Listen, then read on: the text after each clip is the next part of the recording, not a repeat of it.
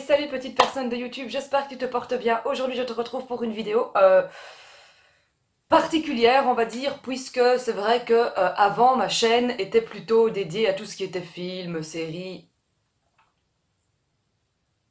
Euh, je dois faire un code et je sais plus ce que c'est. Donc, euh, ma chaîne était plutôt dédiée à tout ce qui était livres, séries, etc. Et c'est vrai que musique, et c'est vrai que ça me manque un peu. En fait, je suis un peu partie dans, la mode et la beauté. C'est vrai que j'aime aussi énormément la mode et la beauté, mais c'est vrai qu'au départ, ma chaîne était plus dans tout ce qui était livres, etc. Et j'ai un peu oublié cette partie-là de ma chaîne, et je dois avouer que ça me manque. Donc, j'ai envie euh, de vous refaire des vidéos qui vont euh, parler de films, de séries, de musique. Ça va arriver en masse en ce moment. Vous avez déjà vu la euh, les, produits terminés en musique qui euh, ont rappelé un peu ce côté euh, fun de la chaîne. Mais aujourd'hui, ce que je vais te présenter, ce sont des auteurs belges. Donc j'ai une pile à lire d'auteurs belges qu'on va tout de suite découvrir ici, maintenant. Et ensuite, eh bien, je te ferai des chroniques qui promettent d'être très très originales sur ces bouquins. Donc surtout, stay tuned, on est parti. Je te montre cette fameuse pile. Alors, donc on a tout ça. Attends, Voilà. Ça, et c'est que des auteurs belges, puisque euh, je ne sais pas si tu es au courant, mais euh, je m'intéresse beaucoup euh, à la littérature belge.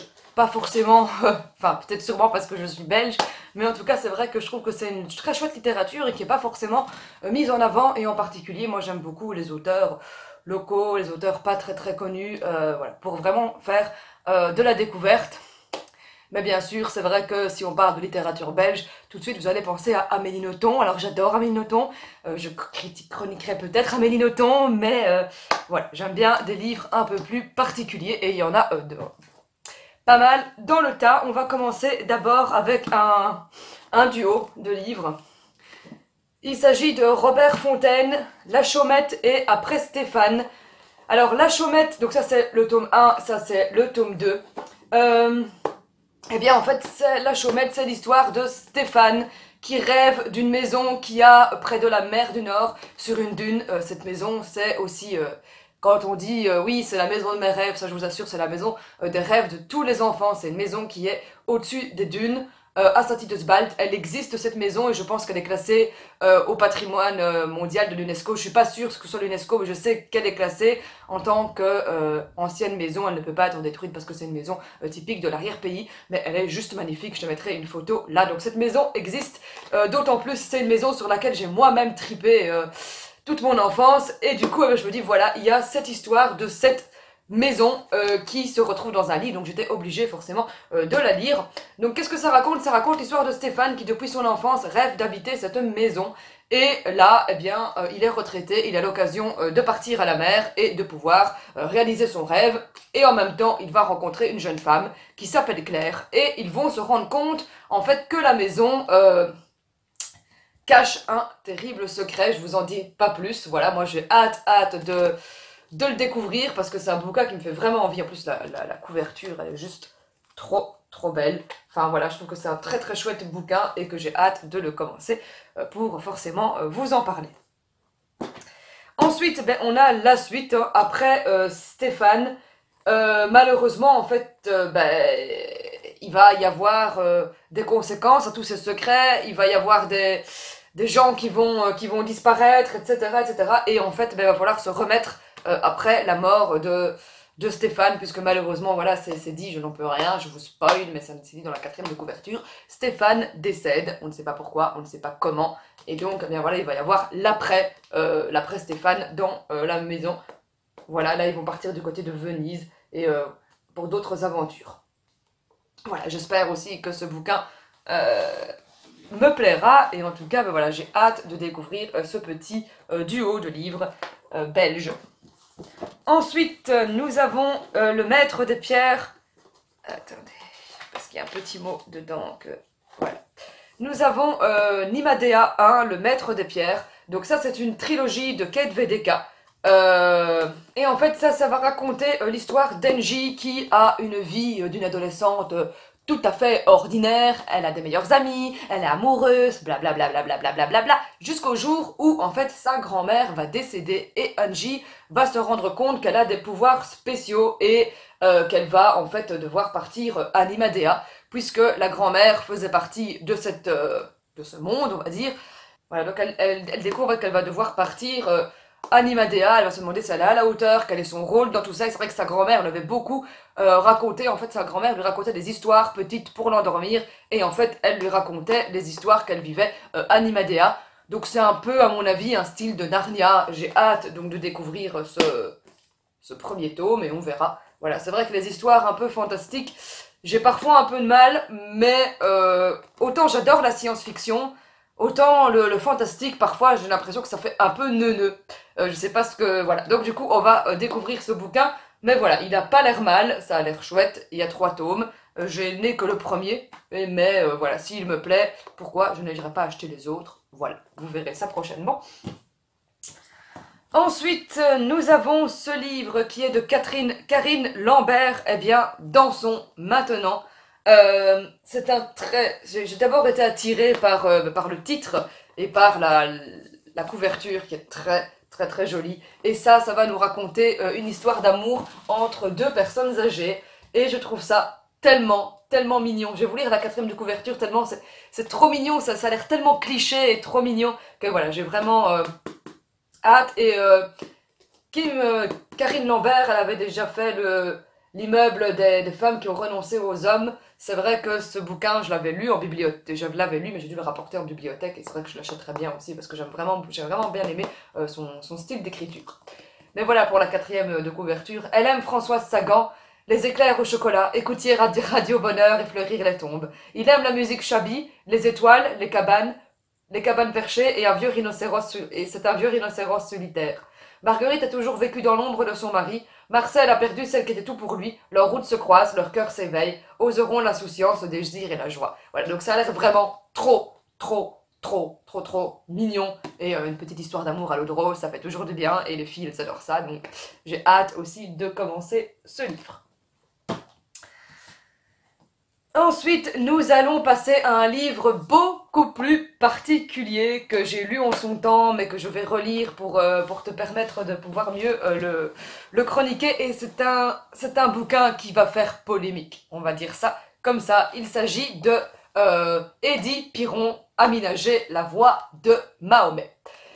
Alors, donc c'est à la fin de sa vie, le prophète Mahomet décide d'écrire eh bien, euh, le message d'Allah afin que euh, tous les musulmans puissent, ben, puissent avoir accès euh, à, à ce message et ainsi écrire le Coran. Voilà. Et en fait, il est, Mahomet a eu une aventure, on imagine, voilà, mais déjà ça, c'est, hmm, a eu une aventure avec une certaine Amina qui est un peu une working girl assez rebelle et qui va essayer euh, de collaborer avec euh, le prophète pour, euh, pour l'aider à écrire cela. Donc voilà, donc ça va être, c'est un peu une version décalée de la façon dont a été écrite le Coran. Je l'ai bien aimé, j'ai découvert pas mal de choses parce qu'il y a quand même quelques faits, entre guillemets, historiques dedans.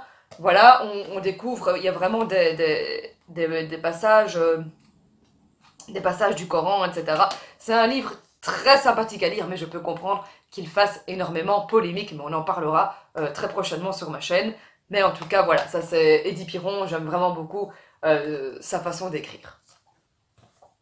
Ensuite, on a Denis Daniels avec 22h22.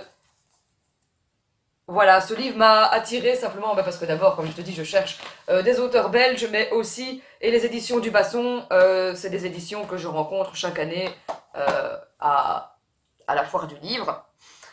Et voilà, j'aime vraiment beaucoup ce qu'ils font, c'est belge, et donc on peut découvrir des auteurs belges, forcément alors, forcément. Donc, 22h22, ça raconte l'histoire d'un gars qui attend un train qui ne passe, qui attend, ah voilà, 22h22, ça raconte l'histoire d'un gars qui attend sur le quai de gare, euh, voilà, il attend un train dont il ne sait rien, il ne sait même pas si ce train existe, si ce train va arriver, il ne sait même pas la destination de son train, mais il attend son train. Et en fait, c'est un roman immersif, puisque euh, vous, vous allez avoir la chance dans le roman d'être assis à côté euh, de cette personne qui va vous raconter pourquoi il est là, pourquoi il attend ce train, et ça va être un peu la découverte de cette personne. Voilà, ça, ça a l'air vraiment euh, super intéressant parce que c'est vrai que c'est le genre de bouquin euh, que j'ai jamais vraiment lu, où vraiment l'auteur est le... Enfin, où vraiment le, le lecteur est euh, le confident, voilà, c'est un peu comme une autobiographie, mais voilà, vraiment, on s'adresse vraiment à vous, on vous explique l'histoire. Et donc, ma foi, ça a l'air vraiment pas mal du tout, et j'ai hâte de découvrir euh, donc ce, livre, 22h22. Euh, en plus, voilà, les heures miroirs, ça a toujours un peu fasciné le monde. Et voilà, je me demande, c'est vrai, 22h22, voilà, ici dit c'est s'attendre, c'est s'asseoir à côté d'un homme à 22h22 et écouter son histoire. Mais en tout cas, voilà, 22h22, c'est aussi un truc qui, qui m'attire, et c'est pour ça que j'ai hâte de lire ce livre. Ensuite, on a encore un bouquin bien bien plus particulier euh, qui vient de Pierre Rosenthal et qui s'appelle Le propre de Monsieur Propre. Euh, ce livre, je l'ai depuis tellement longtemps dans ma, dans ma bibliothèque et c'est vrai que je ne l'ai jamais ouvert. Je crois que euh, c'est un ami qui me l'avait offert pour mon anniversaire et je ne l'ai jamais ouvert. Mais voilà, donc le propre de Monsieur Propre, vous pouvez très bien reconnaître Monsieur Propre. Donc voilà, comme on me dit, voilà, tout le monde connaît Monsieur propre, euh, cet homme euh, viril qui vient avec un t-shirt blanc, euh, plus de traces aussi blanc que blanc, etc. Donc ça c'est Dash. Enfin voilà. Si propre que l'on peut se voir dedans. C'était ça, monsieur propre. Et donc, eh bien, cet auteur-là a décidé de retracer la personnalité de monsieur propre en se posant la question suivante. Est-ce qu'il aime vraiment faire le ménage? Est-ce qu'il a des amis? Pourquoi monsieur propre n'aurait pas une vraie vie et une conscience politique quitte à rencontrer le pape et à se présenter aux élections présidentielles? Donc il va se poser toutes sortes de, questions à propos de la vie euh, de Monsieur Propre, lui construire une vie et voir en fait qui est euh, Monsieur Propre que l'on voit euh, tout le temps donc à la télévision. Donc voilà, ça m'a l'air très très très très chouette. pourquoi pas hein, de découvrir une vie à Monsieur Propre. C'est vrai que c'est un truc que moi j'aime beaucoup de parfois imaginer la vie de, de, certains, de certains personnages, de certains voilà, de, certaines choses, de, de, de, certains personnages de la publicité. Et euh, ben voilà, là, euh, on va lire l'histoire de Monsieur Propre euh, tout prochainement. Et ensuite, on va passer à des livres beaucoup plus particuliers. On va aussi passer à un duo que je suis en train de lire et que j'aime tellement, mais que j'aime tellement. Ça, ça va être aussi les prochains, c'est les deux prochains bouquins qui seront chroniqués, voilà, comme ça tu le sais. Ce sont des bouquins que tu ne pourras pas trouver euh, dans le commerce. Et c'est pour ça que c'est des bouquins qui sont très très importants pour moi et que j'ai hâte de te les faire euh, découvrir. Ce sont des romans qui ont été créés exprès en fait pour moi. Le roman est écrit, il existe, l'auteur a pour but de les publier un jour. Mais voilà, on va dire que j'ai eu la première version euh, de ces romans. Cet auteur adorait voir ses romans réalisés en film et c'est vrai que c'est un truc que j'adorais qu'elle fasse parce que ce sont des romans qui m'ont vraiment, euh, vraiment, vraiment transporté. Je les ai terminés, la chronique est en train d'être montée, mais euh, voilà. Euh, ce sont des romans que j'ai adoré, adoré, adoré, mais comme ça tu vois. Donc nous avons le premier tome de Annick qui s'appelle Pourtant il était là. et ça, c'est l'histoire d'une petite fille qu'on va suivre durant plusieurs années. On va suivre en fait la vie de cette petite fille qui s'appelle Sakia qui à la fin va devenir euh, forcément grande. Et en fait, eh bien, Sakia, ce qui lui arrive, c'est que ses parents sont en train de divorcer et qu'elle a beaucoup euh, de mal avec ça. Et elle se rend tous les jours à un, parc qui s'appelle le Paradis sur Terre, où là, elle a trouvé un petit chat qu'elle a nommé Gollum, je crois Gollum, Gollum, Gollum, voilà. Un petit chat noir qu'elle nourrit, mais surtout, elle va tomber amoureuse d'une statue, donc une espèce de... Vous savez, comme on voit les, statues euh, dans ce genre-là dans les parcs, enfin, des statues nues, euh, voilà. Elle va tomber amoureuse d'une statue qu'elle va nommer Igor. Et à ce Igor, elle va venir se confier. Dès qu'elle en a l'occasion, elle va venir se confier à Igor dans le paradis sur Terre. Et en fait, il se fait que cette statue a une conscience, qu'elle ne peut pas le montrer à Sakia tout de suite, mais qu'elle a une conscience. Et donc, on va suivre toute cette histoire à travers, d'abord la, vie, la vie de Sakia, la vie de ses parents. Sakia, il faut savoir qu'elle est danseuse, euh, qu'elle va, euh, va avoir l'occasion de, d'évoluer dans ce milieu, mais que voilà, on va suivre vraiment cette histoire d'amour, entre guillemets, entre... Euh, Sakia et cette statue. Et moi, c'est un roman qui m'a vraiment transporté. C'est vraiment un roman feel good. Ça fait du bien. Et ben voilà, mais vous aurez la chronique très très très très très très prochainement. Et euh, voilà, c'est doux, c'est tendre, c'est spécial, ça nous emmène dans un monde de magie qu'on n'a peut-être pas l'habitude de, rencontrer. Moi, c'est vraiment un roman qui m'a beaucoup, beaucoup plu. Mais euh, la chronique arrive, du coup, je t'en dis pas plus.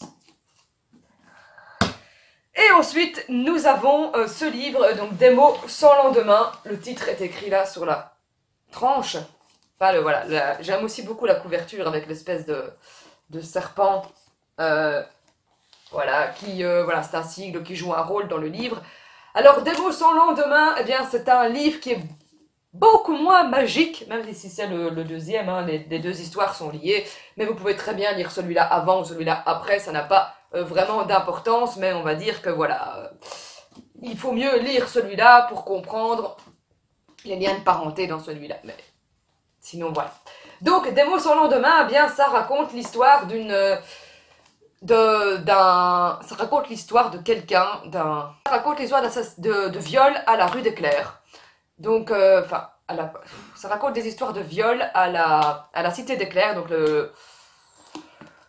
L'université de droit, et là on va rencontrer, on va suivre l'histoire de Solène qui malheureusement euh, a été victime euh, d'un viol. Et elle va se rendre à la police, on va suivre toute l'enquête. Et là aussi on découvre euh, que en fait ça vient il y a une abbaye où ils ont des cultes particuliers. Et là où ça va vous emmener mais dans un univers un peu plus glauque, un peu plus sombre, un peu plus noir et euh, c'est vrai que voilà c'est un bouquin qui si vous êtes sensible et que vous avez euh, voilà que vous êtes vite choqué c'est vraiment pas un bouquin que je vous conseille voilà moi j'ai eu énormément de, de difficultés avec certains passages mais c'est un livre aussi que j'ai adoré qui nous transporte il y a du suspense il y a c'est écrit, c'est fluide. Voilà, il y a certaines choses que j'ai moins bien aimées, mais forcément, c'est normal, on n'aime pas forcément un livre à 100%.